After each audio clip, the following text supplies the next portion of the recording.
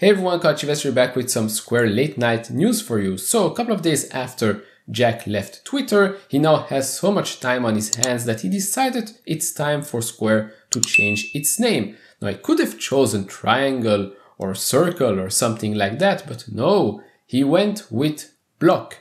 Now a lot of people might say, hmm, block, maybe blockchain because he dreams and thinks about Bitcoin each and every day, which might make sense. Hopefully that's not the case and I don't think it is. So we're going to talk about everything you need to know about this name change. It's also not the only part of Square that has changed its name. Square Crypto has changed its name as well. And then at the end of this video, let's look at the graph because like all growth stocks, like all fintech stocks, Square has taken a hit as well and is now below $200. So we've got the press release here. Square Inc. changes name to Block. By the way, the artist that did all the artwork for Block very, very nice. So Block will be the name for the company as a corporate entity. The Square name has become synonymous with the company's seller business, which provides an integrated ecosystem of commerce solutions, business software, and banking services for sellers. And this move allows the seller business to own the Square brand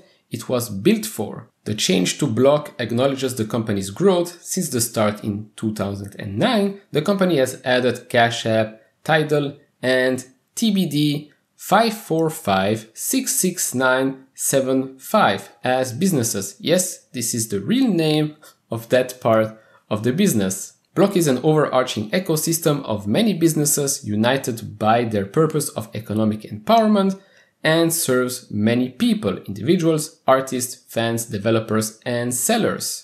And a word from Jack here, we built the Square brand for our seller business, which is where it belongs. Block is a new name, but our purpose of economic empowerment remains the same. No matter how we grow or change, we will continue to build tools to help increase access to the economy.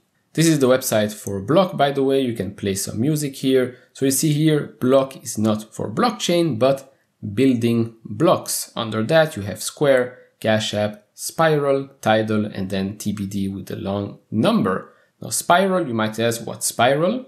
Glad you asked. So Spiral is the new name that will replace Square Crypto. Now, they went and talked about various funny things here. Why not call themselves something with coin or something with bit or something like that?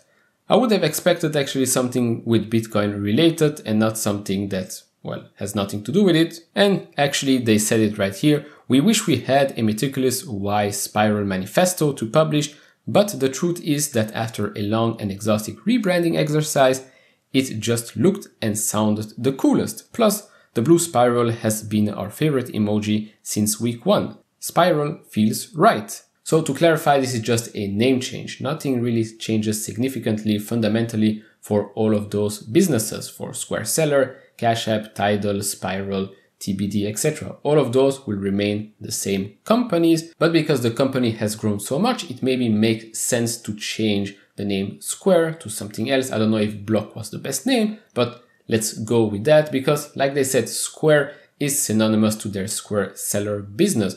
So maybe they don't want people to talk about Square when they say Square, Cash App, Tidal, and all of that. They want people to talk about Square when they're talking about the seller side of the business. Now I'll quickly touch on the fact that Jack has left Twitter and can now focus on Square solely.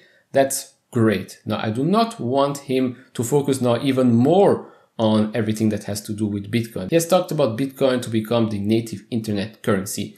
Bitcoin as a currency is not good at all. It's expensive and it's slow. There are other currencies out there that are much better than Bitcoin if you want to use it as a currency. Much, much better. But also the fact that he now can focus on Square and focus all of his energy on Square might be a very good thing because if he goes by his mission statement, which is economic empowerment for everyone, everybody needs to have more access and easier access to the economy, maybe he can grow Square on our block into a more global company. Because right now, let's face it, it's not a global company. It's mostly a United States based company. Maybe they'll grow faster next year in Europe. Maybe he will have his wish and will go to Africa and do some things there. Let's see. So that's my opinion on that matter. And now, before we finish this video, let's have a quick look at the graph. All right, so since it's all-time high, Square is down close to 31% or so. I drew this blue line right here because it was a support line back in May and it was also a resistance once last year back in October. Now, whether it will hold or not, I honestly have no clue because the market sentiment right now is all over the place. If you look at the RSI, it is now in the oversold zone. If you look at the MFI, that one has actually bounced back a little bit. So maybe that might be a bullish sign for the couple of weeks to come. So to conclude, the name change came out of nowhere, especially just a couple of days after Jack has left Twitter. No, I don't think one has to do with the other. I think he has known for a long, long time that he wanted to change the name to Block. And maybe after thinking about it, it actually makes sense because Square, the name Square is for the seller side of the business. Obviously, he wants Square Now Block to be much more than that, as we've seen with Cash App, Tidal, Square Crypto, or Spiral, TBD, etc. So maybe it makes sense. What I would like to see next year in the coming years is for Block to become a more global brand and for Jack to focus more on Block, the whole company and the business, and a bit less on his Bitcoin obsession.